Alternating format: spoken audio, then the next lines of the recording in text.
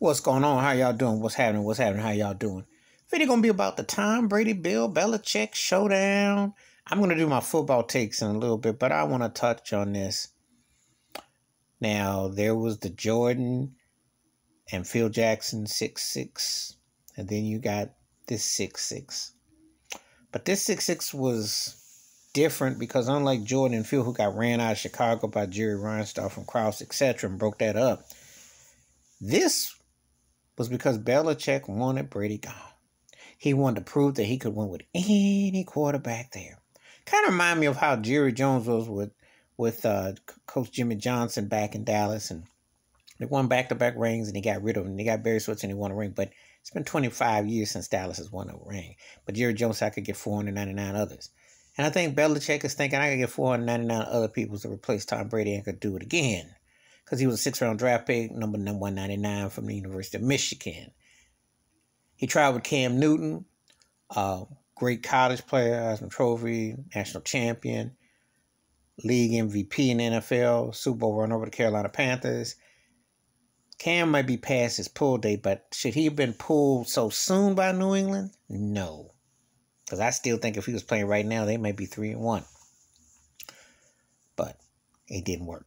And then them backup turkeys they had didn't work, and now they stuck with Mac Jones, Alabama, who is decent. He looks good, but he's a rookie, and you can definitely tell. But the way they parted, Belichick is feeling the heat because he comes across an old curmudgeon, hateful, spiteful, thinks he's thinks he's the end all be all in the room, and everything he's doing right now is like like it's backfiring. And letting Brady go at the age of 40 plus, and he went to Tampa Bay and got a ring. And I always say, the thing that hurts me more on my team, you don't never let a ring go out the door. That's metaphor for everything. If it's a good ring, you know. Like people going with the you don't let a ring go. Guy getting the playoffs has a decent season, you know, okay. Because championship in a conference is like, okay.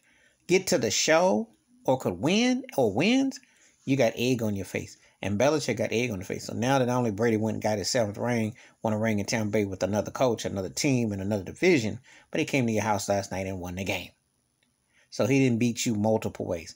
And then you got Brady's father who spoke out, and Brady's trainer spoke out against Belichick. So Belichick feel like I gotta patch this, gotta save some face, cause it ain't looking good. It looking very once, and rightfully so, cause Belichick is not a nice dude unless the ones who know him.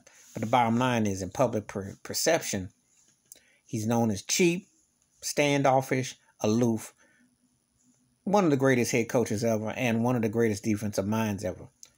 But this matter we're letting Brady rock and how it looks out ain't doing him no justice. So Brady got the upper hand right now. He got the upper hand. He better hope Mac Jones pans out, and he better hope New England can turn their fortunes in the next year or two because uh, the owner Robert Kraft is gonna start looking at Belichick sideways, cross-eyed, and crazy if they don't start don't get good. And they're not beating my Buffalo Bills, by the way.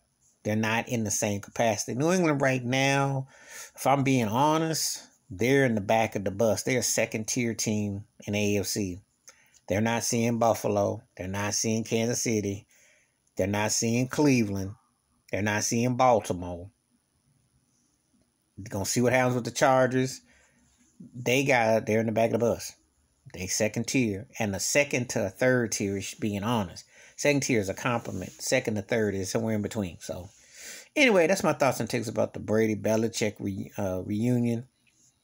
And Brady right now is sitting in the catbird seat. And no matter what he says, he wanted to stick it to him. And I'm glad he won. Belichick needs some humble pie because he really be acting full of it. And that team needs a wide receiver, need a running game. The defense is alright, but they kind of spied in their secondary. They're not there. They spent a lot of money, but you know, you gotta have a quarterback. You got to have a quarterback. I'm out.